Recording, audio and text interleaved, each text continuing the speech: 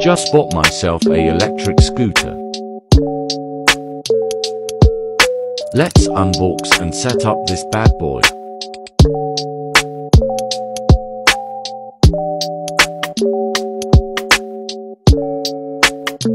So satisfying.